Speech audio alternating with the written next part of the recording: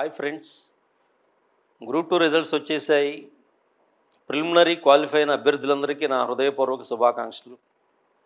ఈ నేపథ్యంలో మేము ఒక ఇంపార్టెంట్ అనౌన్స్మెంట్ చేయబోతున్నాం శ్రీమేధ పబ్లికేషన్స్ తరఫున ఆంధ్రప్రదేశ్ చరిత్రకి సంబంధించి ఒక అత్యంత ప్రామాణికమైనటువంటి గ్రంథాన్ని తెచ్చే ప్రయత్నం చేశాము. సో ఇక్కడ స్క్రీన్ మీద కనిపిస్తున్న పుస్తకం అదే. ఆంధ్రప్రదేశ్ చరిత్ర సంస్కృతి.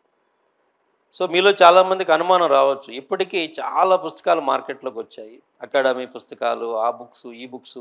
గ్రూప్ టూ కోసమే తయారు చేసిన ఒక డజన్ పైగా బుక్స్ మార్కెట్లో ముంచెత్తాయి. ఈ నేపథ్యంలో మళ్ళీ ఇంకో పుస్తకమా అనేటువంటి అనుమానం మీకు రావచ్చు. మీకే కాదు ఆ సందేహం నాకు వచ్చింది. అయితే గ్రూప్ టూ సిలబస్ను దృష్టిలో పెట్టుకొని మారుతున్నటువంటి ఎగ్జామ్ ట్రెండ్ను దృష్టిలో పెట్టుకొని కొంచెం ఈ మధ్య టఫ్నెస్ లెవెల్స్ పెరుగుతున్నాయి కాబట్టి వాటి దృష్ట్యా అలానే గత ప్రశ్నాపత్రాలను కూడా పరిశీలించినప్పుడు ఇప్పుడు అందుబాటులో విద్యార్థులు ఎక్కువగా చదువుతున్నటువంటి పుస్తకాల్లో చూసినప్పుడు వాటిని పరిశీలించినప్పుడు నాకు కొంచెం అసంతృప్తి కలిగింది. సో కొన్ని పుస్తకాల్లో రాజకీయ చరిత్రకి విపరీతమైనటువంటి ప్రాధాన్యత ఇచ్చారు. చాళుక్య చోళయుగం అంటే నెల్లూరు చోడులు తెలుగు చోడులు వెలనాటి చోడులు వీళ్ళ పొలిటికల్ హిస్టరీ ఇచ్చేసి సామాజిక సాంస్కృతిక చరిత్రని ఒక రెండు పేజీల్లో ఇచ్చేసి క్లోజ్ చేసేస్తున్నారు. ఇట్లాంటి కొన్ని చోట్ల మనకు కనిపించింది. రాజకీయ చరిత్ర కాదు వాళ్ళు సిలబస్కి ఇచ్చిన టైటిలే ఆంధ్రప్రదేశ్ సామాజిక సాంస్కృతిక చరిత్ర. ఆ అంశాలకు ఎక్కువ ప్రాధాన్యత ఇవ్వాలి. ఆ దృష్ట్యా ఒక సమగ్రమైన పుస్తకం రాస్తే బాగుంటుంది అనే ఆలోచనతోటి ఈ పుస్తకాన్ని తేవటం జరిగింది. ఇంకొక ముఖ్యమైనటువంటి అంశం సిలబస్ను మనం జాగ్రత్తగా పరిశీలిస్తే పంతొమ్మిది యాభై ఆరు తర్వాత సామాజిక సాంస్కృతిక పరిణామాలు అని ఏదైతే వాళ్ళు వాడారో సిలబస్లో దానికి అనుగుణమైనటువంటి సమాచారం కూడా ఎక్కువ పుస్తకాల్లో మనకి కనిపించడం లేదు. ఒకటి రెండు పుస్తకాలు చాలా బ్రీఫ్గా ముఖ్యంగా పొలిటికల్ డైమెన్షన్లో ఏ ముఖ్యమంత్రుల కాలంలో ఏం జరిగింది రాష్ట్ర విభజన దాకా జరిగిన పరిణామాలు ఏంటి అనేవి ఇచ్చేసి వదిలేశారు. ఏదో బ్రిటిష్ తరహాలో ఆ అకాడమీ ఇప్పుడు వచ్చింది ఈ అకాడమీ ఇప్పుడు వచ్చిందని ఒక రెండు పేజీలు ఇచ్చేసి వదిలేసిన బుక్స్ కనిపిస్తున్నాయి. కానీ సమగ్రంగా సామాజిక సాంస్కృతిక పరిణామాలు అనేటువంటి ఒక పదాన్ని సమగ్రమైన అర్థంలో తీసుకొని దాన్ని విస్తృతంగా చర్చించే ప్రయత్నం జరగలేదంట మొన్న ప్రిలిమినరీ ఎగ్జామినేషన్లో మీరు చూశారు కదా సోషియాలజీ వింగ్లో వాళ్ళు మంచి షాక్ ఇచ్చారు కదా. సో ఏదైనా ఒక సర్ప్రైజ్ ఎలిమెంటో షాకింగ్ ఎలిమెంటో ఎగ్జామ్ని రూటానికి ట్రై చేస్తాడు అని మనం అనుకుంటే అలాంటి స్కోపు ఆ సెక్షన్లో ఉందండి. కాబట్టి దాని దృష్టిలో పెట్టుకొని మనం కొన్ని తయారు చేసామండి సో ఇండెక్స్ను పరిశీలించండి. ఇండెక్స్లో ఇక్కడ మన బుక్లో సో ఇలాంటి అంశాలన్నీ ఇచ్చాం. సామాజిక సాంస్కృతిక పరిణామాల్లో నాస్తిక హేతువాద ఉద్యమాల గురించి మాట్లాడాం. గోపరాజు రామచంద్రరావు గారు. ఇంకా చాలామంది ఎంతోమంది మేధావులు నాస్తిక హేతువాద ఉద్యమాన్ని నడిపారు. భారతదేశాన్ని ఇన్ఫ్లుయెన్స్ చేసినటువంటి మేధావులు వచ్చారు ఆంధ్రప్రదేశ్ నుంచి. గోపరాజు రామచంద్రరావు గారు రావిపూడి వెంకటాద్రి గారు. ఇప్పటికీ కూడా మనకి ఇంకోల ప్రాంతంలో హేతువాది అనే జర్నల్ కనిపిస్తుంది. నాస్తికవాద హేతువాద ఉత్సవాలు జరుగుతూ ఉన్నాయి. ప్రపంచ స్థాయి నాస్తికవాద హేతువాద మేధావులు ఇక్కడి నుంచి వెళ్ళారు. సో అదొక అద్భుతమైనటువంటి ఒక కల్చరల్ మూమెంట్ కింద ఒక సోషల్ మూమెంట్ కింద చెప్పుకోవాలి. ఇలాంటివన్నీ మహిళా ఉద్యమంలో ఎలాంటి పరిణామాలు వచ్చాయి? ఎన్టీ రామారావు వచ్చినాక ఏం చేశారు? స్త్రీవాద సాహిత్యం ఎందుకు వచ్చింది? నేపథ్యం ఏంటి? బీసీల ఉద్యమం. ఏబీసీడీలుగా బీసీలను ఎప్పుడు వర్గీకరించారు. ఎన్టీ రామారావు ఎందుకు బీసీ రిజర్వేషన్స్ను పెంచారు? దాని పరిణామాలు ఏంటి మండల కమిషన్ నేపథ్యం ఏంటి? బీసీ వాద స్పృహతో వస్తున్నటువంటి సాహిత్యం మాట ఏమిటి? ఇలాంటి వాటన్నిటిని కూడా ఇందులో డిస్కస్ చేసేటువంటి ప్రయత్నం చేసాం నాటక రంగం వేరు మళ్ళీ నాటక సాహిత్యం వేరండి. సాహిత్యం ఒకటి నాటక ప్రదర్శనలో వచ్చినటువంటి మార్పులు ప్రదర్శన కలగా నాటకం ఎలా ఇవాల్వ్ అవుతూ వచ్చింది?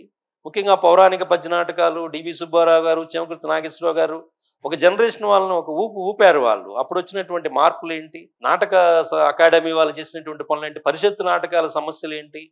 వీటన్నిటిని విశ్లేషించే ప్రయత్నం ఇక్కడ నాటక రంగంలో జరిగింది. సామాజిక సాంస్కృతిక పరిణామాలు అంటే ఇవన్నీ మాట్లాడుకోవాలండి. జర్నలిజంలో సాక్షి నుంచి సత్యదోత నుంచి సాక్షి దాకా ఈవెన్ నమస్తే తెలంగాణ దాకా తెలుగు జర్నలిజంలో వచ్చినటువంటి టర్నింగ్ పాయింట్స్ ఏంటి? వీటన్నిటిని కూడా బ్రీఫ్గా డిస్కస్ చేసే ప్రయత్నం చేశాం. ఆయన నాట్యంలో నటరాజ రామకృష్ణ గారు ఏ మార్పులు తీసుకొచ్చారు? ఆంధ్ర నాట్యం అనేటువంటిది ఎలా ప్రచారంలోకి వచ్చింది దానికి ఒక కరికులం ఎట్లా తయారు చేశారు వీటి గురించి డిస్కషన్ జరిగింది సంగీతంలో వచ్చినటువంటి మార్పులు అన్నమయ్య కీర్తనలకు ఎవరు సంగీతాన్ని కూర్చారు క్లాసికల్ మ్యూజిక్లో ఏమేమి మార్పులు వచ్చాయి ప్రముఖ కళాకారులు ఎవరు వాద్యకారులు ఎవరు ప్రపంచ స్థాయి గుర్తింపు పొందినటువంటి సంగీతకారులు వచ్చారు మనకు ఆంధ్రదేశంలో పంతొమ్మిది వందల యాభై ఆరు తర్వాత. వాటికి సంబంధించినటువంటి సమాచారాన్ని ఇచ్చే ప్రయత్నం చేశాము. అలానే సాహిత్య ప్రక్రియలో వచ్చినటువంటి మార్పులు కథానిక నవల నాటకంలో సాహిత్యపరంగా మాట్లాడాము.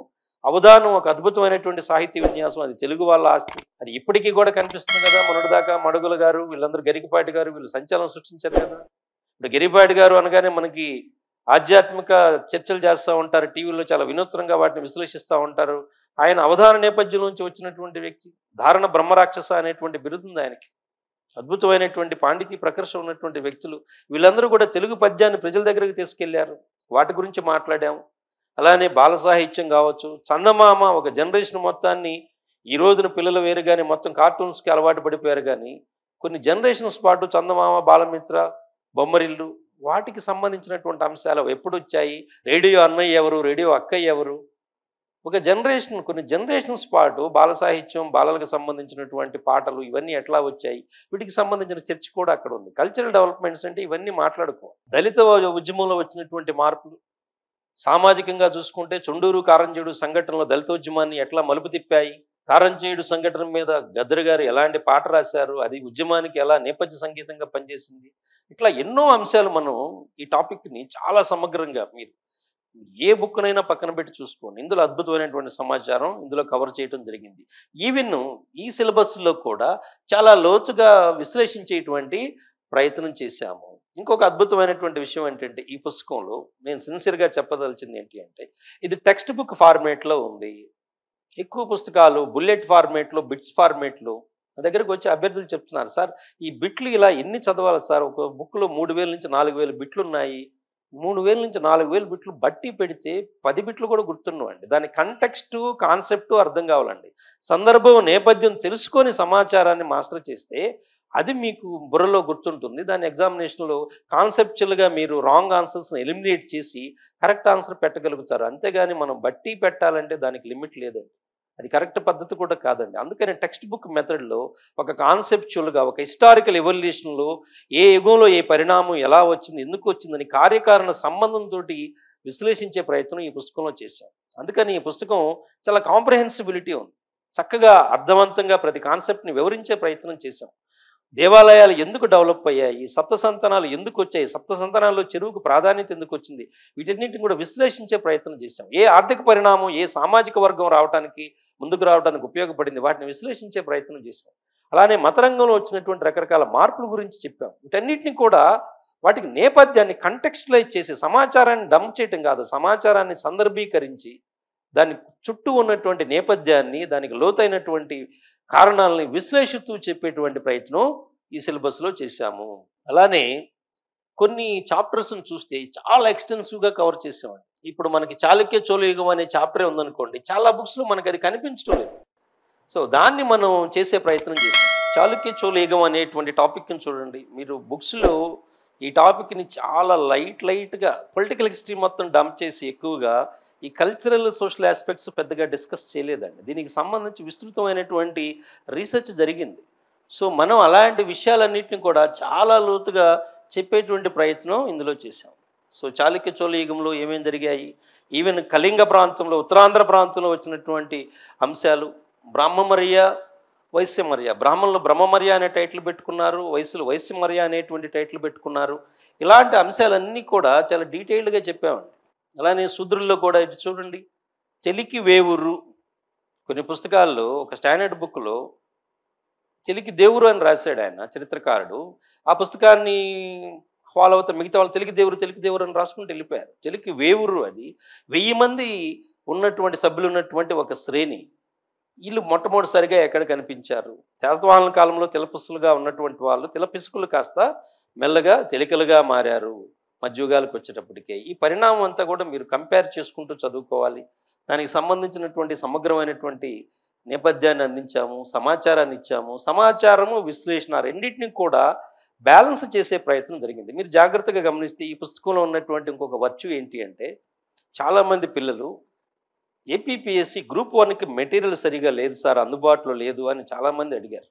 సో దాన్ని కూడా దృష్టిలో పెట్టుకొని కంటెక్స్టలైజ్ చేసేసి ప్రతి చాప్టర్కి కూడా ఒక ప్రారంభం ఒక ముగింపు కొన్ని సందర్భాల్లో వ్యాలిడ్ ఒపీనియన్స్ కూడా మేము ప్రజెంట్ చేయడం జరిగింది. ఉదాహరణకి బ్రాహ్మణేతర నాస్తిక ఉద్యమాన్ని చక్కగా విశ్లేషించి దాని మీద ఒక చిన్న క్రిటిసిజంతో సహా కంక్లూడ్ చేసాం ఆ టాపిక్ని అలానే దళితోద్యమాన్ని అలానే కంక్లూడ్ చేసాం బీసీ ఉద్యమాన్ని అలానే కంక్లూడ్ చేసాం.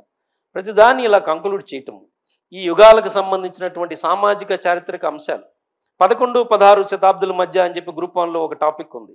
ఈ పదకొండు పదహారు శతాబ్దుల మధ్య ప్రతి యుగంలో వచ్చినటువంటి సామాజిక సాంస్కృతిక పరిణామాలన్నీ చాలా లోతుగా అనలిటికల్ పర్స్పెక్టివ్లో కూడా ఇవ్వటం జరిగింది. కేవలం సమాచారం మాత్రమే కాదు సందర్భోచితమైనటువంటి విశ్లేషణ ఉంది. చెప్పాం కదా ప్రతి దాన్ని కూడా కంటెక్స్లైజ్ చేసి కంక్లూడ్ చేయటం వలన ఇది గ్రూప్ వన్ ఏపీ హిస్టరీకి సంబంధించి కూడా చాలా వరకు సిలబస్ ప్రకారం చాలా వరకు మ్యాక్సిమం ఎయిటీ పర్సెంట్ కవర్ చేయటం మనకు కనిపిస్తూ ఉంది. కాబట్టి ఈ పుస్తకం కేవలం గ్రూప్ టూ వాళ్ళకే కాదు గ్రూప్ వన్ వాళ్ళకి కూడా పనికొస్తుంది. ఇక గ్రూప్ టూ వాళ్ళు ఈ పుస్తకాన్ని తరువుగా చదువుకొని కొన్ని స్టాండర్డ్ రిఫరెన్స్ బుక్స్ పెట్టుకుంటే ఖచ్చితంగా అరవై ఐదు నుంచి డెబ్బై మధ్యలో స్కోర్ చేసే అవకాశం ఖచ్చితంగా ఉంది అని మాత్రం నేను చెప్పగలను.